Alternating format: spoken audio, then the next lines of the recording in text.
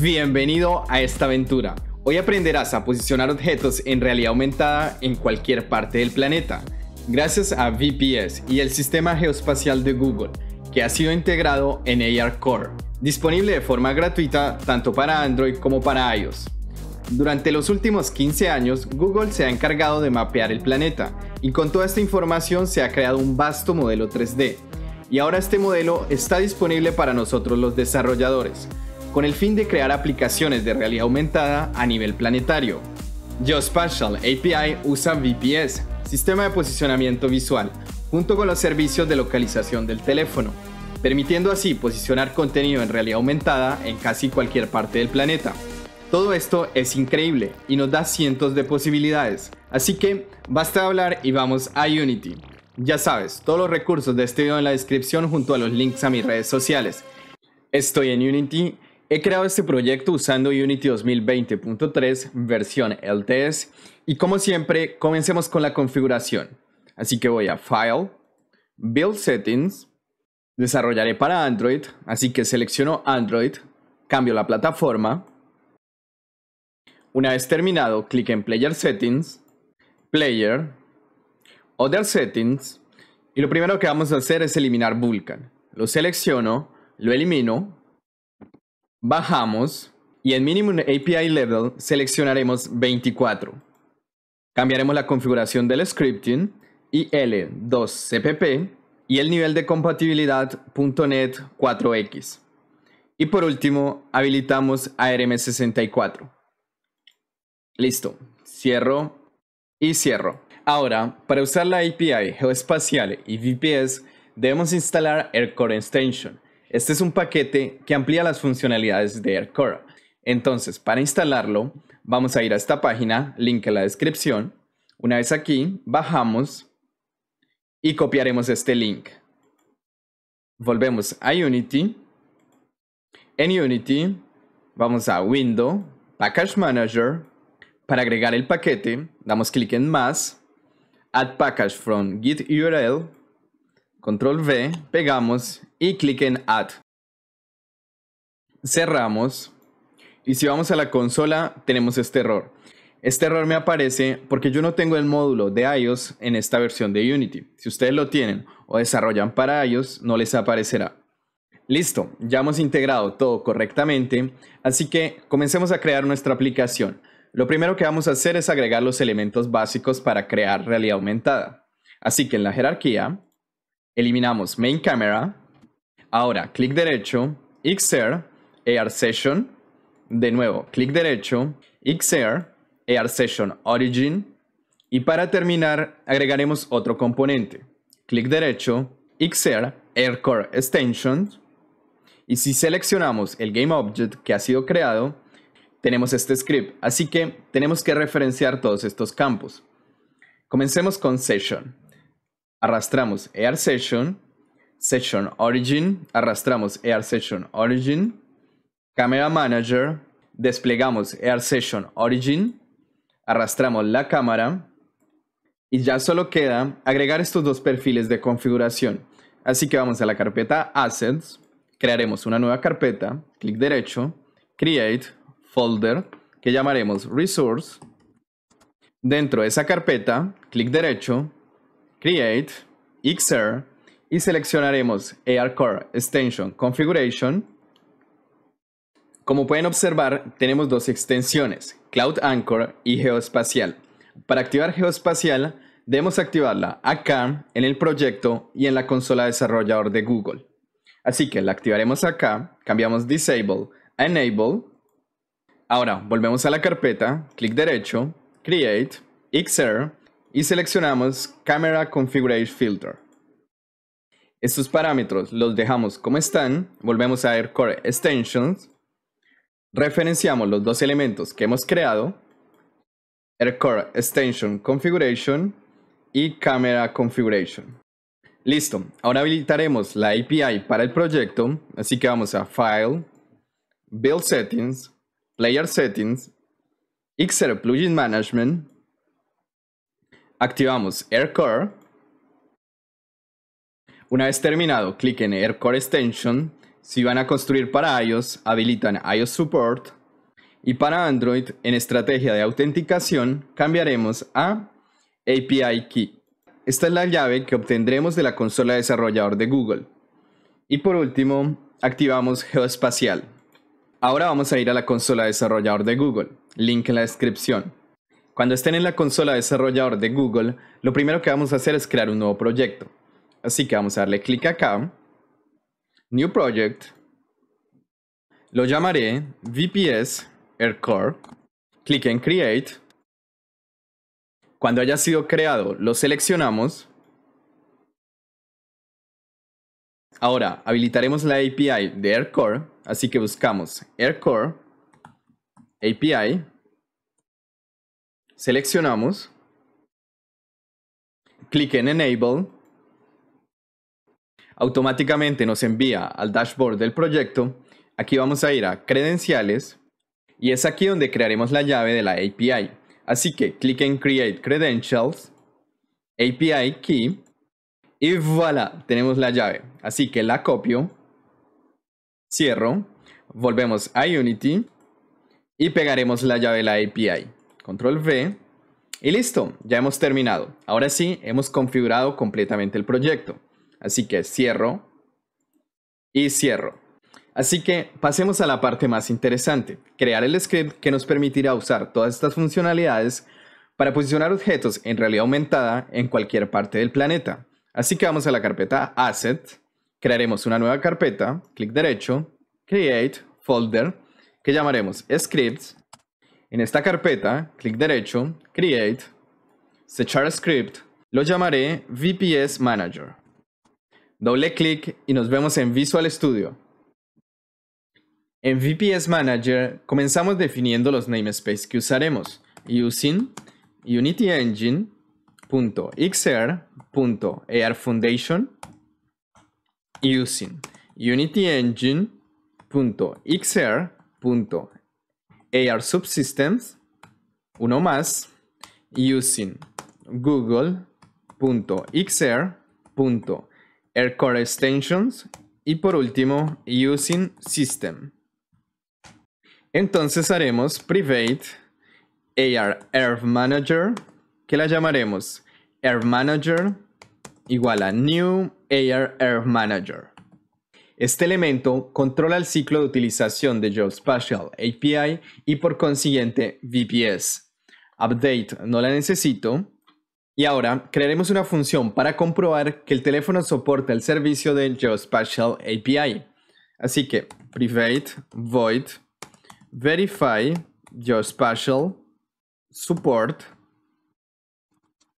Acá crearemos var result igual a air manager punto is geospatial mood support y pasaremos geospatial mood punto enable crearemos un switch case switch pasaremos result y acá tenemos tres posibles resultados. Soportado, podemos usar Geospatial API y VPS. Entonces, si es así, crearemos un mensaje debug.log ready to use VPS. Y aquí mismo llamaremos la función para posicionar el contenido virtual. Después tenemos desconocido, aún no se ha determinado si el teléfono soporta o no este servicio. Crearemos un mensaje debug.log, un no, y volveremos a llamar esta función para saber si se obtiene otro resultado. Invoke, pasaremos el nombre de la función, verify geospatial support, y la llamaremos en 5 segundos. Por último, no soportado, no se puede usar este servicio, así que crearemos un mensaje, debug.log, VPS unsupported. Ok, ahora vamos a crear una estructura que contendrá el prefab del contenido virtual y su posición en el planeta Tierra, expresada en longitud, latitud y altitud.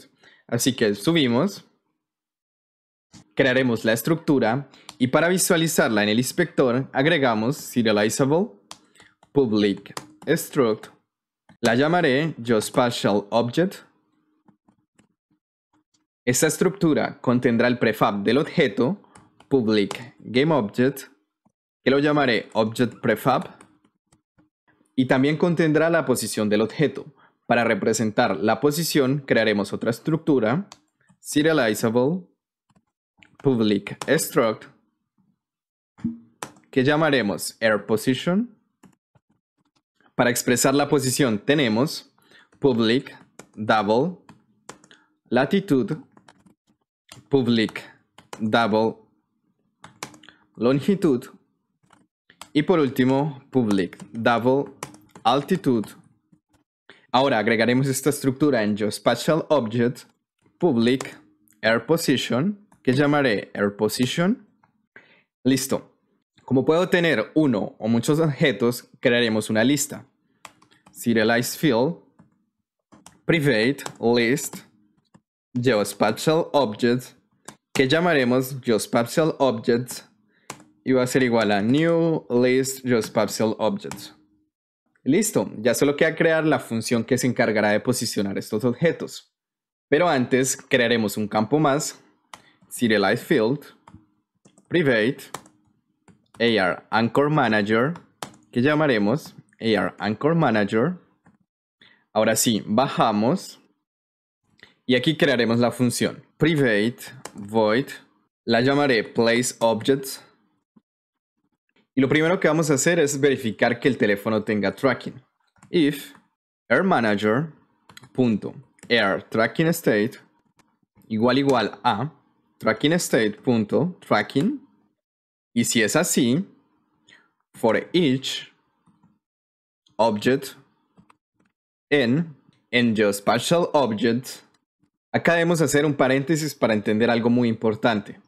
Si trabajamos en un área pequeña y no hay variación importante de la altitud, podemos tomar la altitud que muestre el teléfono. Para ello hacemos var geospatial pose igual a airmanager.camera geospatial pose. Y ahora, si vamos a geospatial pose, punto, acá tenemos la altitud. Y la otra opción, la cual usaré, es tomar la altitud desde Google Air. Ok, continuemos. var air position igual a punto air position. Creamos un anchor en ese lugar del planeta.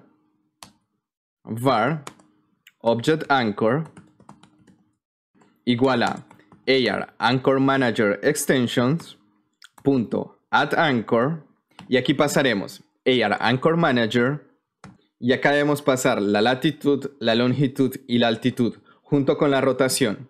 Así que haremos air position punto latitud position punto longitud y air position punto altitud.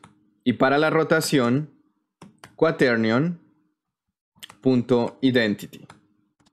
Por último, instanciamos el prefab instantiate object punto object prefab, coma, la posición, en este caso, object anchor punto transform. Ahora, si no existe tracking, esto me pasó cuando lanzaba la aplicación dentro de mi casa, es decir, el teléfono no tenía ningún punto de referencia, entonces en ese caso, else if air manager punto air tracking state igual igual a tracking none. Si es así, volveré a llamar esta función invoke el nombre de la función place object y la llamaré a los 5 segundos. Para terminar, agregamos estas funciones donde deben ser llamadas place object acá y verify geospatial support la vamos a llamar en el start. Listo, control S, guardo y volvemos a Unity. De nuevo en Unity, seleccionamos AR Session Origin, agregaremos un componente, AR Anchor Manager. Ahora crearemos un objeto vacío, clic derecho en la jerarquía, Create Empty. Lo llamaremos VPS Manager. Agregamos el script que hemos creado. Ok, nos aparece una advertencia en la consola. Vamos a solucionarla rápidamente. Así que volvemos a abrir VPS Manager, Edit Script, La advertencia viene de acá, ya que no podemos crear este objeto de esta manera. Así que eliminaremos esto, punto y coma, y agregaremos Serialize Field. Control S, guardamos, volvemos a Unity. Ahora agregaremos un nuevo componente, AR Earth Manager, lo agregamos, referenciamos estos campos, este acá, ahora AR Section Origin y referenciamos AR Anchor Manager. Perfecto, ahora sí podemos posicionar contenido en realidad aumentada en cualquier parte del planeta. Para hacerlo, acá tenemos la estructura. Clic en más y voilà, tenemos los campos para referenciar el prefab y su posición en la Tierra. Si quieren agregar más objetos, solo deben dar clic en más y referenciar los campos. El prefab que yo usaré es el logo de Unity Adventure, no olvides suscribirte, así que lo referenciaré. Desde luego, ustedes pueden usar cualquier prefab. Y si recuerdan, les dije que la posición la tomaríamos de Google Maps, pero antes debemos entender algo muy importante. Geospatial API, la funcionalidad de AirCore, usa un sistema de referencia basado en WGS84, el cual asume que la Tierra es un elipsoide, mientras que Google Maps usa un sistema de referencia basado en EGM96, el cual usa un geoide para representar la Tierra. Entonces, entre estos dos sistemas, la altitud no es la misma, así que tenemos que hallarla. ¿Cómo se hace? Lo primero que vamos a hacer es ir a Google Maps. Nos ubicamos en el lugar donde queremos posicionar el objeto virtual, por ejemplo, en París. Ahora obtenemos las coordenadas del lugar, clic derecho. Esta es la latitud y la longitud.